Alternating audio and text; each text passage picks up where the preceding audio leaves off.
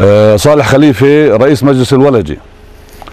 ال- كما تشاهدون الجدار آه، يلف القرية من كل الجهات. آه، بدءا من منطقة آه، بيت جالا ومستوطنة آه، هارجيلو وإلى الشرق ومن ثم مرور إلى الشمال والشمال الغربي وحتى نصل إلى غرب القرية آه، مع بتير. الجدار آه، يلتهم آه، أكثر من نصف آه، أرض القرية اللي بالغة في حدود 67 4500 دنم سيتب- سيتبقى بعد بعد الجدار للقرية حوالي 2200 دنم والجدار وما يعزل من أراضي هو أكثر من 2300 دنم طبعا هذا في حدود ما يسمى آه، 67 في حدود آه، ال 48 هناك آه، 13300 دنم تم آه، عزلهم آه، بموجب اتفاقية رودس. الجدار بيمثل عقبة أمام التواصل الجغرافي بيننا وبين البلدات الفلسطينية الأخرى مع الريف الغربي ويمثل عدم تواصل ديموغرافي أيضا. بشكل عقبة أمام ال- ال- الموظفين والعمال والطلاب وكل شرائح المجتمع. الجدار هو سجن ولكن آه، بالمفهوم الإسرائيلي طبعا هو جدار أمني. ولكن بالمفهوم الحقيقي للجدار هو التهام الأرض.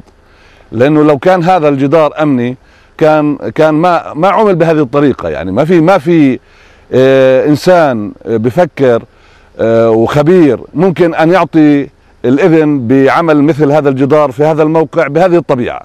فهذا شيء معروف وأكيد الكاميرا بتصور والناس اللي بيجوا وبشكل أعينهم بيعرفوا كلام كذب وافتراء. هم يريدون كسب مزيد من الأراضي على حساب الفلسطينيين على حساب الشعب الفلسطيني على حساب قريتنا آه، الفلسطينيه ولذلك إحنا نرفضه بشدة ولا زلنا نقاوم بكل الطرق السلمية والقانونية. وخسارتنا في الالتماس في محكمة العدل العليا الأخير هو بيمثل وصمة عار لهم لأنه هذا هو العدل عندهم. غلبوا آه، آه، ال- ال- البعد الأمني على البعد الإنساني للشعب الفلسطيني والحاجات الأساسية للشعب الفلسطيني. وهذا هو العدل عندهم. يعني إذا كان إذا كان هم يخافون وعندهم رعب من الشعب الفلسطيني. الجدار هذا يضعوه حول بيوتهم مش حول بيوتنا إذا كان هذا أمني يعني. ولذلك آه، طبعا هذا العدل اللي عندهم هم. هذا هو العدل. إحنا صحيح ذهبنا إلى محكمة العدل العليا ونحن نعلم كل العلم أن هذه الم- المحكمة هي مقبرة لل- للقضايا الفلسطينية.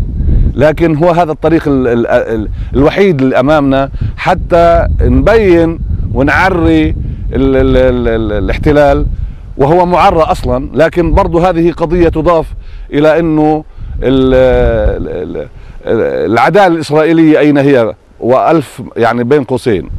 وإحنا على كل حال لن نسكت سنصمد في أرضنا سنتابع آه، مشوارنا السلمي والقانوني لأنه لها ما بعدها إن شاء الله. بسم الله الرحمن الرحيم. طبعا آه، أنا اسمي صلاح أبو علي من قرية الولجة. آه، من إحنا موجودين عند أقدم شجره زيتون في في فلسطين والعالم. قدروها خبراء اجانب عن عمر هذه الشجرة.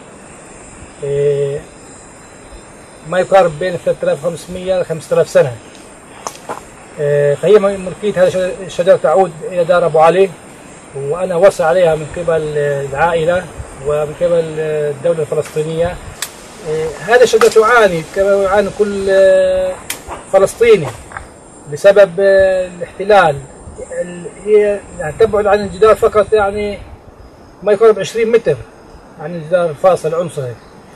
فالحمد لله رب العالمين هي صامدة و- وشامخة وخضراء ونحن آه، يعني عائلة درب علي وأهل القرية يعني بحمد الله يعني مرابطون عند هذه الشجرة حتى آه، نزيل هذا الاحتلال